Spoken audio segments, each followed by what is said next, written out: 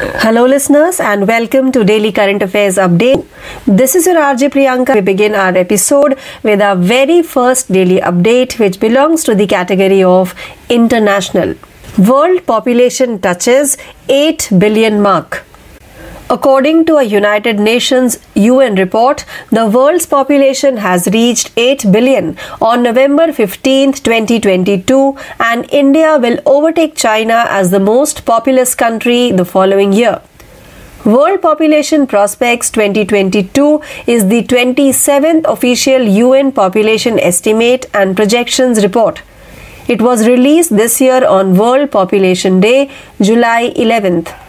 According to projections, the world's population will reach 8.5 billion in 2030 and 9.7 billion in 2050. It is expected to peak at around 10.4 billion in the 2080s and then plateau until 2100.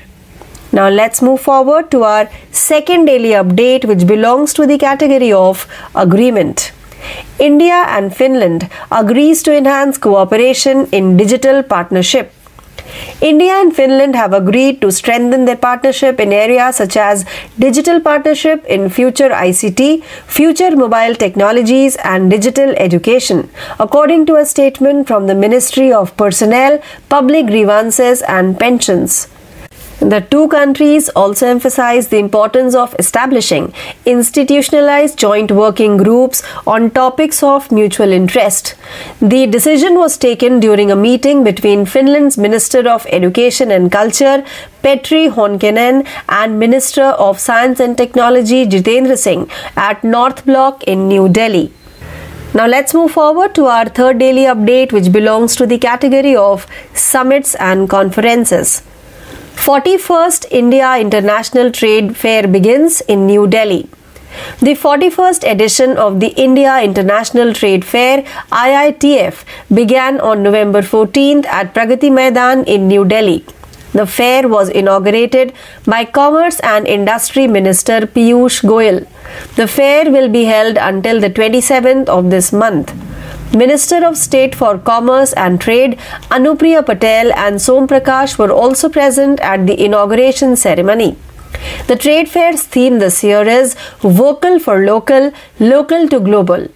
Bihar, Jharkhand, and Maharashtra are partner states in the fair, while Uttar Pradesh and Kerala are focus states. Now let's move forward to our fourth daily update, which belongs to the category of rank and report.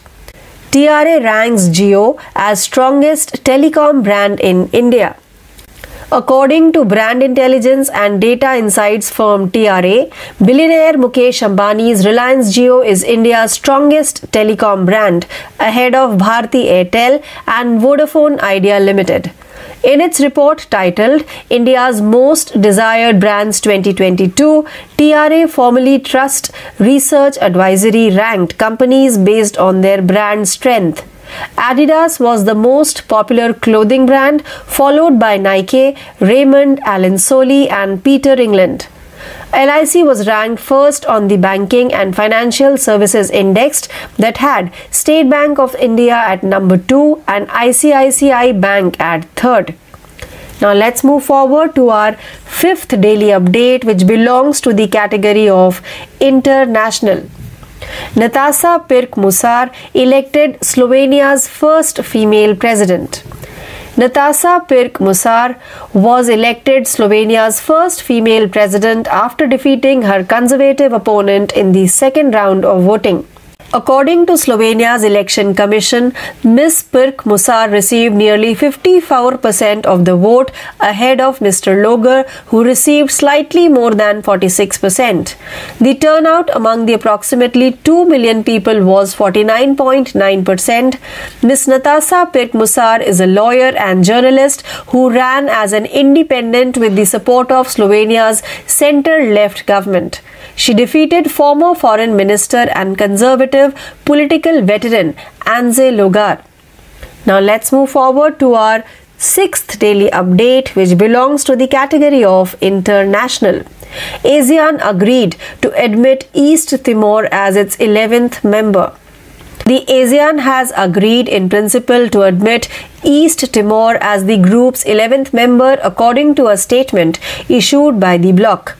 The half island nation, officially known as the Timor Leste, will also be granted observer status at the high level ASEAN meetings, the bloc announced following a summit of regional leaders in Phnom Penh.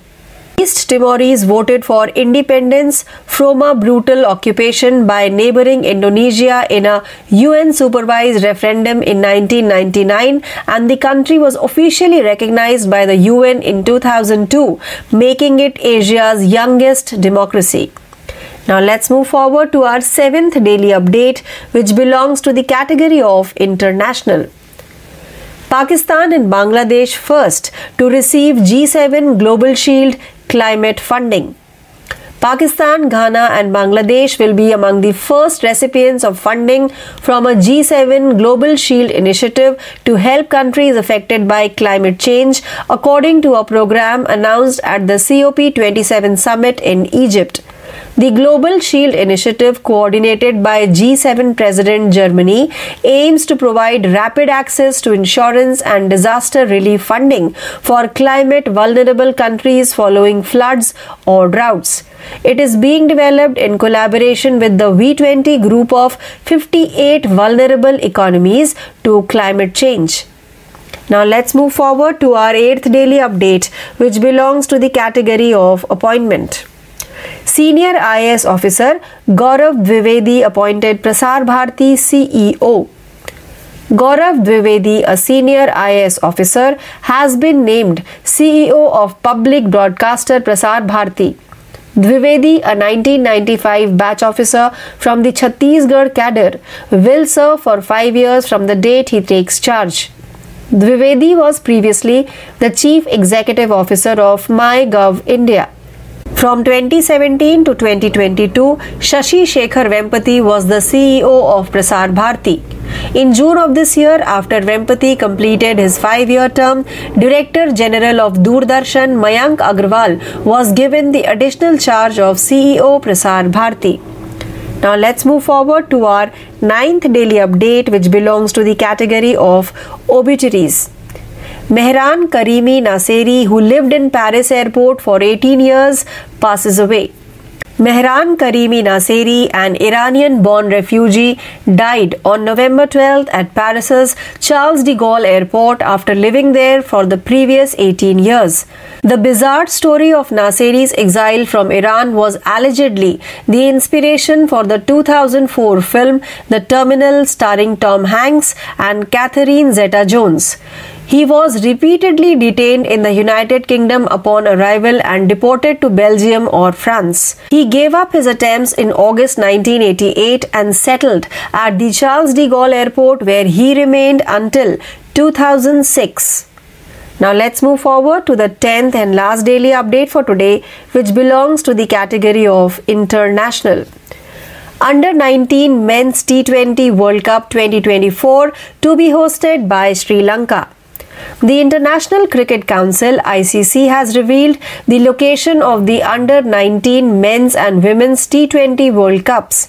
According to an ICC press release, the 2024 Under 19 Men's T20 World Cup will be hosted by Sri Lanka, while the 2026 edition will be held in Zimbabwe and Namibia. Malaysia and Thailand will host the Under 19 Women's T20 World Cup in 2025, and Bangladesh and Nepal will co host the event in 2027. According to the ICC, the hosts are chosen through a competitive bidding process overseen by a board subcommittee chaired by Martin Snedden. So, with this daily update, we have now come to an end of today's episode of Daily Current Affairs Updates. Please stay tuned for more learning. This is your RJ Priyanka signing off for the day. Thank you.